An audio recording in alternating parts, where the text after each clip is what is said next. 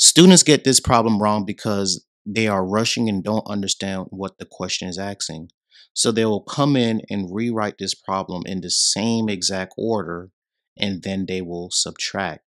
If you set it up like this, this is going to be wrong because we're subtracting 6x squared from the 4x squared expression. That is not what they asked us to do.